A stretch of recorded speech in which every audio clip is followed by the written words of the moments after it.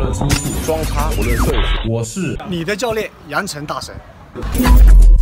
好，往前，刚刚说了，根据这个球球的位置去封网，吊球要保护，然后呢，还有在我搭档进攻的时候，我要适当的保护我的位置。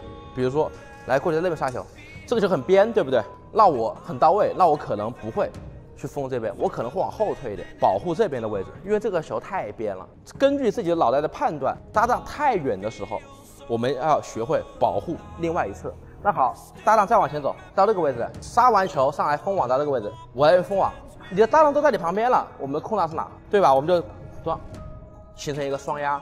比如说我来挡网，我挡网，好就过去，他要或者啥，好再过来。比如说他挡网，那我们就形成一个轮转。这几天有练的，其实这个东西让你们练，他们不会像我这样跟你们把逻辑盘得清清楚楚。他们也练，你要跟你要教练跟解释，他跟你解释很累的。我就像我现在跟你们解释一样，对不对？我跟你讲盘逻辑、盘因果、盘这些东西，讲到今天晚上也讲不完，因为这个里面的逻辑因果关系，每个球的战术变化太多了。你先别管，先让你这样做，让你把重心低着，你先低着，让你打往上，你就先上。你在上的时候，你会发现，哦，原来上可以帮我的搭档创造进攻机会，好吗？就所有的训练理论是没有用的，是没有意义的，一定是要自己在练的时候。在打的时候，慢慢的去悟的。然后还有一个很重要的事情就是，你们打双打的时候，你们尽量的还是要多讲讲话，要沟通一下。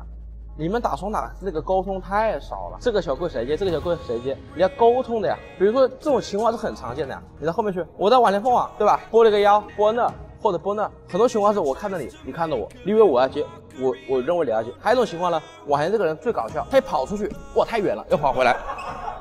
他一这样一动，他就啊你在干嘛，对吧？你这这种情况太常见了呀。其实其实我还是回来刚刚那句话，你要当一个情商高的、大家爱你的人，那怎么呢？是奉献，对不对？你想这个球，哎，我们抢到了，我搭档怎么样会去接这个球呢？你站在这边，他会认为你要接，对不对？那个球是不是出现在这个位置了？一出现我不接是吧？我就好，我就轻轻的往前走一步，你猜他会不会去接？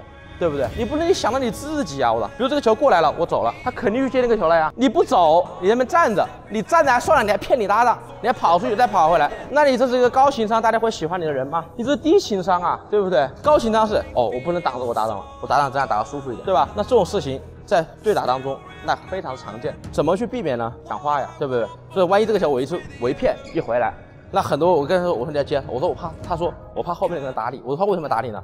他跟你有仇嘛？你在这里个位置，他在这个位置，你要出去接，你就大胆出去接，他可以看得到我的，对吗？他是不会打你的，除非他真的跟你有点仇，那你做人有点问题，你要思考一下，对不对？按道理来说，你往前人抢球是大胆抢的，你想抢就抢。但现在就是，问题是你抢你没错，但是你不抢的时候，你要让道。